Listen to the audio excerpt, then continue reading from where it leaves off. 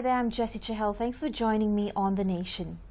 Now, many Malaysians have been complaining about weight gain, especially during these past few months of the MCO, which is not really a surprise considering that Malaysia is a food haven. We have uh, extremely tasty food deliveries that come to our house, and besides, during the lockdown, we were very much homebound and we really had not much to do, especially in those initial weeks as we tried to find what was the new normal. So, obviously, less physically active, um, mentally quite stressful can also, also promote emotional eating.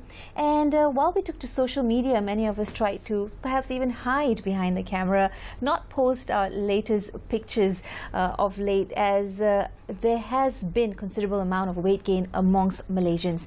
Now, the issue of obesity overall, though, is nothing new to us. Here in Malaysia, for example, the World Health Organization has also said that obesity has been a global public health since 1975, and we know that overall Malaysian eating habits we still need to do some improvement there. Having said that, there are many of us who are very health conscious and we've got on that wagon of dieting and nowadays what's even fashionable, intermittent fasting. Well, here to tell us the do's and the don'ts for weight loss as we are still in the RMCO for the next few months is Dr. Prabhjot Singh. He's been on the show before, but he's back here today looking his fit and fine self. Welcome back, Doctor. How are you? Uh, all right. Uh, yeah, thanks for having me back. Uh, I'm, I'm fine. Um, well, so how are you? I'm good, thank you. yeah. I'm glad that uh, you know we are in the RMCO phase, but uh, nonetheless, it has been a few hard uh, initial weeks as well. And you know, what was the first thing that we could all go to to find some kind of comfort? It was family meals. We were homebound. We were trying out recipes. We've seen YouTube stars emerge as well yes, yes. Uh, from that. So a lot of it centered around food and consuming food. Yeah. Um, but what is sort of the danger of of that really? Really? Well, I think, I mean, what happened during MCO is uh, I really think it was boredom. Okay, everyone's at home. What do I do? I can't go out. I can't do anything. Oh, well, there's a snack. I'll eat a snack. Unfortunately, the snack is not good. And then people with kids at home, kids are running around. At home, they're not actually running around doing anything really physical. Mm -hmm. They want snacks, they're eating. Sometimes also to keep them quiet, give them food. Now, sedentary lifestyle is a big problem. Malaysia is probably the, I think, the nation with most obesity in, in, the whole of Southeast Asia. So we are the fattest. Right. Um, but then now we're coming out of it. What, what, what are you going to do? You know, I mean, uh, okay, everyone's pound on weights and things. Do you run to the gym and things like that? Now, it's important to remember that before you get onto any program, any way of losing weight, make sure that it's right for you. I mean, you may have health concerns that a program of sort will not suit you. So always, always see your doctor before you start anything. Uh, I cannot stress that enough. That's right. So it's a, not a one-size-fits-all. It's Definitely not an off-the-shelf uh, shelf solution. We have this picture here on uh, the screen right now on some of the numbers on global obesity. Now, your specialization, uh, gastroenterology, uh, was there a focus uh, on diets? was that part of your professional course? in medical school, not really, but because you learn about it very quickly, you have to do your own investigation. You have to invest, uh, find out what is it that's going on, nutrition, diet, weight gain, weight loss, etc.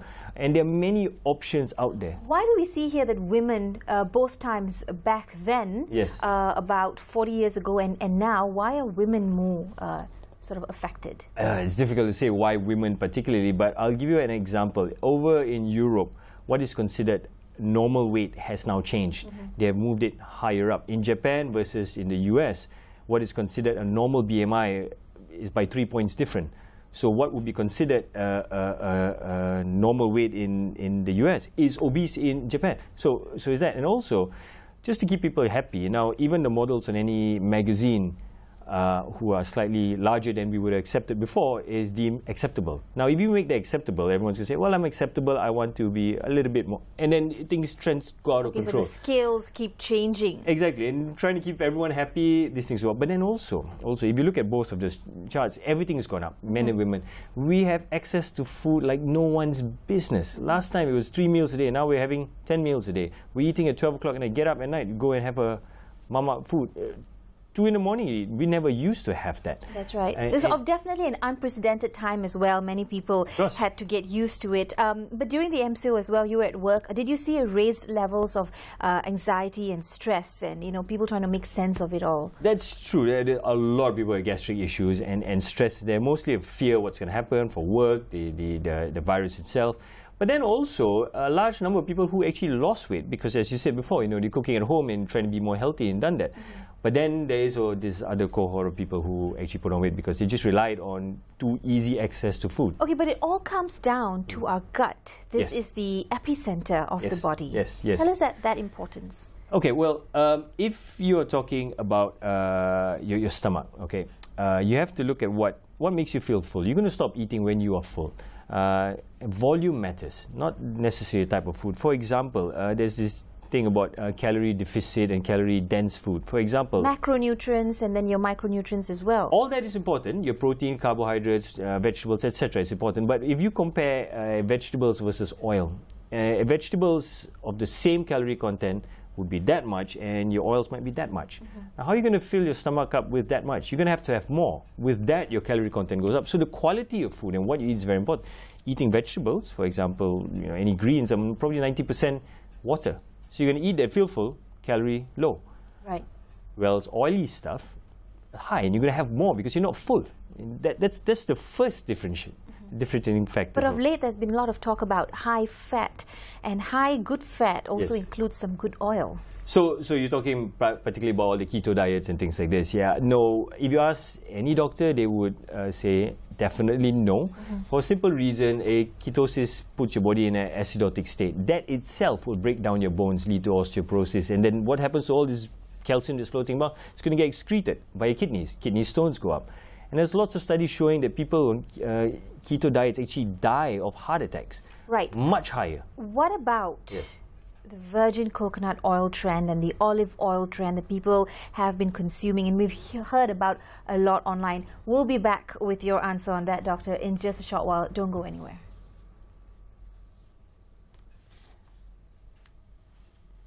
have to really go off the cuff, isn't it? Really, I'm like, whoa.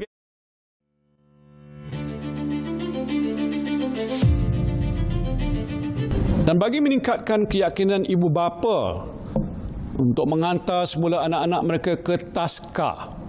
Ke taska, kerajaan akan memberikan grant kepada pengendali taska untuk mematuhi dan melaksanakan SOP yang ditetapkan. Dan selain itu, e-voucher akan disediakan untuk perkhidmatan pengasuh kanak-kanak yang ditempah dalam talian dan juga insentif cukai pendapatan individu untuk yuran yang dibayar kepada taman asuhan dan taman didikan kanak-kanak sehingga RM3,000. Langkah ini akan dikawal selia oleh Kementerian Pembangunan Wanita dan Kebajikan Masyarakat dan LHDN.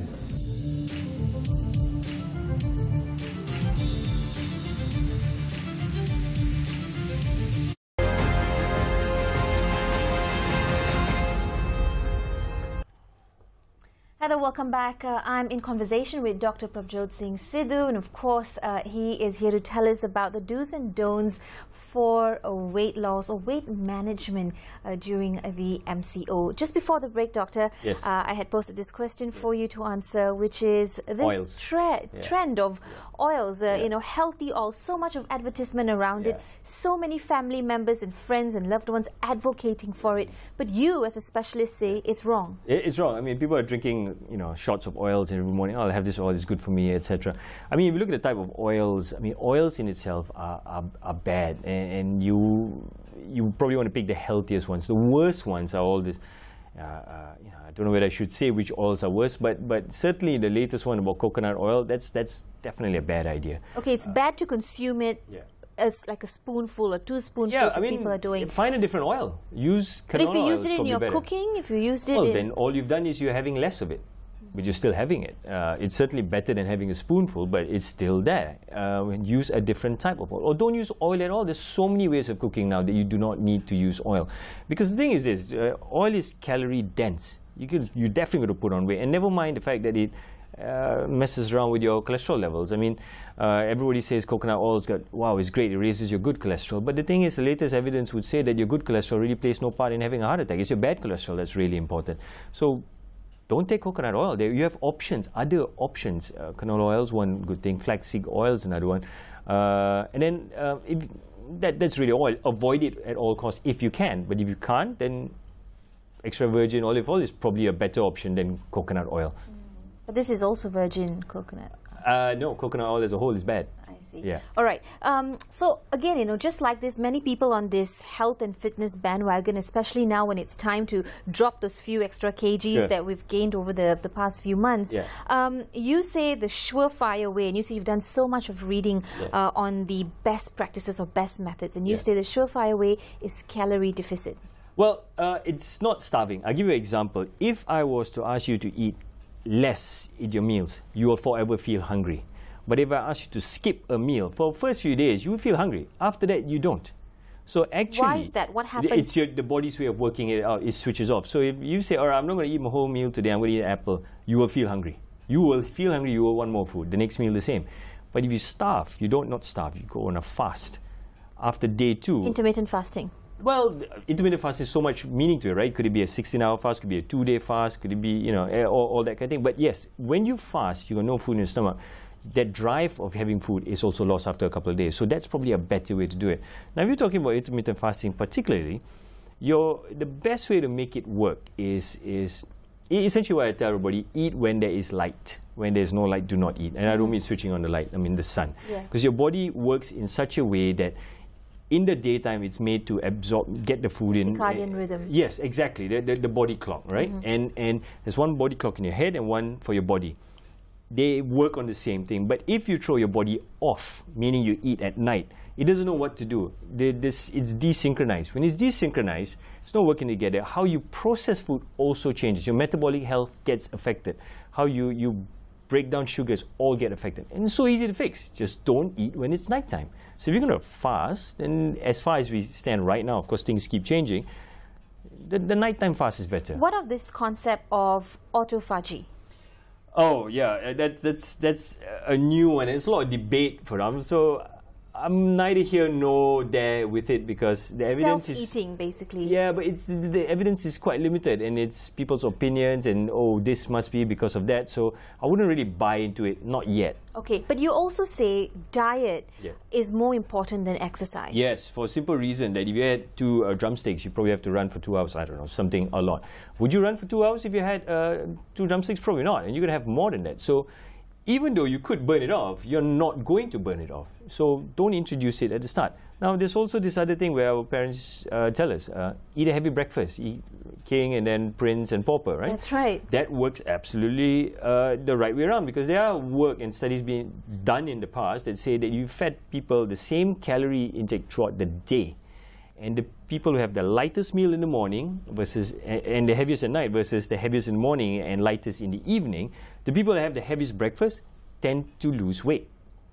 That's because how your body works, the circadian clock again. You see how you keep feeding it and that when it's not supposed to. So by eating the same calories, just this thing called chronobiology, uh, by eating the same calories, but the way you time it, you can make a whole world of difference. Okay, but you say that Malaysians have the wrong pattern of eating. Oh yeah, we as humans tend to want. You say, oh yeah, like you've seen many cases. Oh yeah, I'll put it this way. I always tell people you cannot get good food after nine o'clock unless you really try. Can you? I mean, Unless you cook your own. Yeah, unless you cook your own, but but then if you're busy, you're not going to. Yeah. And and so humans as a whole also have a tendency to eat more fatty food at the end of the day, which then goes against this whole intermittent fasting and nighttime eating mm-hmm. kind of thing. Mm-hmm. We have access to too much food too easily and it really well it's cheap but really bad quality. All of it. I mean think about it. If you got your mee goreng for 3 ringgit do you think they're using virgin uh, olive oil? Of course not. They, they're probably just using the oil that was there from yesterday. Right, but where food um, is concerned, sometimes can be challenging, as you've pointed out. Busy schedules, Yes. um, also with the lockdown, it's a bit difficult to get hands on fresh food here and there. Um, but the other point was that lack of exercise also affected bone mass and and the body itself. Yeah. So, I mean, uh, if you look at astronauts, they all suffer from osteoporosis because they are not uh, doing weight bearing exercise. They're not walking. So, if you're just sitting there doing nothing, your bone mass will definitely go down. Uh, the important thing about, about exercise and mass and things like this, uh, if you want to burn, now the principle is not about weight, it should always be about fat. A bodybuilder would probably be considered obese. But have you seen a bodybuilder have not an ounce of fat on them? Not really, not an ounce, but they, they, they are not obese. But on the thing is that. Yeah. So it's never, it should never be about weight loss. It should always be about fat loss. And, and there are lots of machines to, to calculate all these things. And, and, how you approach it is very different. You see, when people go and send us scales, they don't eat rice for a day. You've lost one kilogram because our rice holds lots of water. Mm-hmm. But two days later, the weight's back, and then now you're all depressed and you start eating, and now you put on more weight. The reverse should be true. You go to the gym, you work out, you exercise, you build muscle. The more muscle you build, the more fat it burns. Though your weight stays the same, your clothes feel loose. And that's what you're doing. That is the right way to do it. Not starving yourself and things. Remember, any diet plan, any exercise and things is not a fad. It's not for two months. It's a lifestyle. Otherwise, you'll be back at square exactly. one. So why even bother? Mm-hmm. You know, why torture yourself? Mm-hmm. That's right. On that note, another quick break coming up as we stomach all of these pointers. We'll be right back in just a few moments.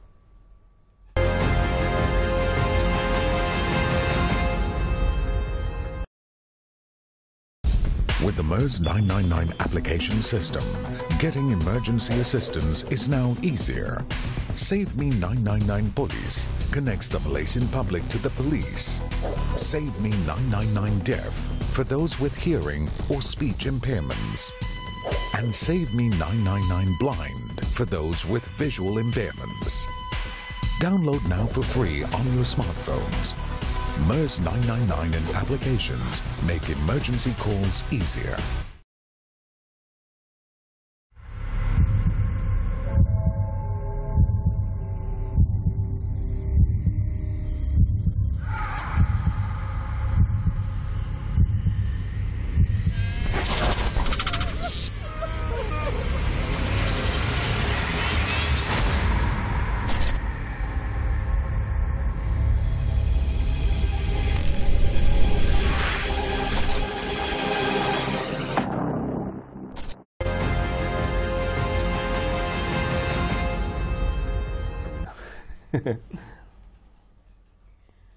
Back uh, to the nation. In conversation with Dr. Prabhjot Singh Sidhu, we've been talking about weight loss during the MCO or what's left of the uh, RMCO phase uh, until August. So A few more months to go. Things are a lot more loose now. That's right. Uh, seems like we are in the real proper recovery phase.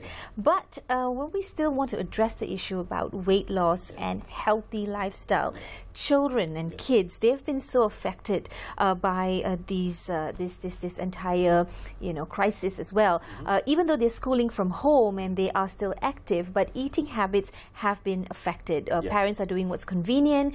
kids are asking for their favorite foods, and most of the time those are not healthy. So according to reports, there's been a threefold increase in obesity amongst kids here in Malaysia. Um, I'm not surprised with that, and I don't think we got the MCO to blame uh, for it. But if you look at the MCO anyway, kids would normally run around. They would run wild, and they're not doing it at home. They cannot. There's not enough space for them to do that. But if you look at, at, at eating habits, now, uh, I have to say I'm not a pediatrician, but if you just look at what uh, adults do, we come back, we snack, we do all these things that are wrong. We know it's wrong. What are the kids going to do? They will not listen, they will copy they will do what we are doing. Ways around this are, are such. Firstly, don't have the junk food there. It's not a quick fix. The more you give them, the more they want, etc. But meal prep, for example, uh, if it's time to cook a meal, do it as a family. Everyone gets involved. So it's not one person's job. It's not a chore. When you go shopping, take the kids uh, shopping. All right, RMCO to MCO, you can't do that, but otherwise you can. Because like I said, it's a lifestyle change. It's not just for now. Mm-hmm take them shopping, show them why one is better over the other, and then get these good habits in. So they will do, they feel more involved and they will learn more about food. Remember I said even medical school, they don't teach us a lot about food. You have to learn yourself. And, and, and kids love doing that. And then when you come home, prepare the meal straight away. So when it comes to a time when you come home, when your kids come back from school, oh, they're tired, oh, I don't want to go and do this, uh, instead of opening a pack of crisps or something, oh, look, I've made this thing from yesterday. I, I like this, that's why I made it. I'm going to eat it now kids will do exactly the same thing. On top of that, if you buy, for example, apples, don't stack them at the back. put them right in front. When you open the cupboard again, when you come back from school, you're tired. You're gonna eat what's right in front of you. It's it's a default. You're not gonna go at the back then pick the unhealthy stuff. I was just going to ask you, how do we, you know, try to get them excited about fruits and vegetables? They need to learn. They need to mm-hmm. learn that it's not bad and what it's actually doing to them. I mean, you make it make it fun for them. I mean, if, it, if it's if it's really young kids, then you know, I mean, vegetable uh, fruits have sweet sweet elements to it. Is that if it's teenage girls who's worried about their weight, you tell them about how vegetables can can keep them slim and things like this, and, and approach that way. What would you say are some of your tips and tricks uh, for a healthy gut? Because again, that is the main system control center uh, for your body to operate. vegetables. Definitely vegetables. Don't don't as far as I'm concerned, don't waste money on probiotics unless a doctor has told you you need it for a very specific reason. Uh, your gut bacteria thrives on fiber, uh, and and, it, and and it gives you the variety of it. This also fits with your circadian clock, your your body's clock, eating at the right time. The variety of uh, uh, bacteria that is there uh, does promote health. A lot of people have also, uh, you know, decided that supplements would be enough, especially without a healthy diet or good healthy lifestyle. Um, that you know, that they once they take supplements, they're in the safe zone. But can that work if your gut, in the first place, is not in a uh, sort of alkaline or neutral? Well, uh, the supplement, you take supplements if you need it. A doctor has said you are deficient in calcium, hence you take this, you get better. But don't take supplements otherwise. Your diet should be able to give you everything you need. Why waste money on supplements when a, a whole food diet is enough? And you will probably get more because it's, a supplement will take the essence of it. But what it's just like I'm telling you, all right, I'll give you apple juice, I'll squeeze the apple, or I'll give you an apple. You're going to get fiber and all sorts of things with it. Talking about that. apple, the last Yeah. time we were on the show, we Yes. did talk about apple cider vinegar. That's Yeah. another craze. I don't Yeah. know if it's a trend. I don't know if it works. Some people say it has. Some people say no. But as a specialist, So, what is your view? Uh, stomach wise, gastric wise, no bad. It'll irritate your stomach. That's for sure. I mean, it's acetic acid. But then there are studies also saying it, it stops your, your sugar spike. So in that way, it's good. But again, the quality of, apple cider vinegar you buy, because vinegar comes from alcohol. If it hasn't been converted properly, you're just having having alcohol. That's not the right thing either. Don't go and start buying apple cider vinegar just because somebody told you. It may be right for them. It may be absolutely the wrong thing to you. Talk to your doctor. It may be suitable for you. But if you get or gastritis, then yeah, it's going to get worse. Uh, it's not a magic cure. It is helpful, uh, just like so many things are helpful. If you use the right way, green tea I was just coming to that. What about green, tea, Yeah, black okay. coffee? So coffee, uh, yes, definitely good for you. But if you have five cups of sugar, what's the point, right? Green tea. Uh, there was a report about a year ago of a guy drinking uh, lots of green tea for health, liver health, but then decided to up it to be more healthy and had started taking capsules. Unfortunately, it killed his liver. He needed a liver transplant. This is the same green tea, dosage different. So don't do anything without checking. Everything must have some evidence before you get on it. I mean, a herbal supplement may be great for you, it may not, but you do not know. Only when the studies are done, then you know it's at, at minimum do something that's safe. And then on top of that, you get some benefit, great. But if it's you don't know if it's safe or not, please do not. What would be your most safest recommendation for our viewers today uh, as we go through these next few months of MCO, especially? With regards to weight loss, Working from home, yeah, eating at home. Well, I tell I tell you what. If you're worried about weight loss, I, I I would challenge you for the next one week to eat an apple before you have your dinner, and I guarantee you, you will not finish your dinner. Not not because you, you, you you're full, you just will not want to eat it. And I'm just telling you what an apple can do for you, what vegetables can do for you. Just eat that one apple before dinner. You won't. You won't finish your dinner. Fruits, vegetables versus meat. Um, that also research has shown that the body is able to break down fruits and vegetables much easier, much faster than it does uh, meat. Yes, uh, it's uh, our gastrointestinal tract is more similar to one of a cow than it is to a lion. It is much longer for good reason. Uh, it's not so much. I mean, the vegetables are good for your small bowel bacteria, the absorption, the the, the nutrients, etc. It's fantastic, but it, the problem with meat is that it's not fully broken down, and you you go through a digestive process where chemicals are formed and released into the colon, which then causes harm, increases the risk of, of colonic cancer. I mean, this is for all meats. Uh, never mind the fact that that fish has got mercury and all sorts of things. You know, Red meat, white doesn't matter. meat. Even if it's chicken, uh, chicken, everybody looks at it as chicken. Wow, chicken is protein. Well, yes, protein. Uh, quality of protein is debatable, and then but there's a lot of fat in there as well that you never really account for because you look at it. Oh, it's chicken. It's not fat. I'm not taking any fattening. Uh, I'm sorry, but you are. Uh, so vegetables is good. It's definitely good. How it works in your whole gastrointestinal tract, I could talk for an hour about this, but Mm-hmm. I, I won't. But uh, the meat is not not in your favor. Definitely not in any form. There you go. Time to rethink what we're consuming.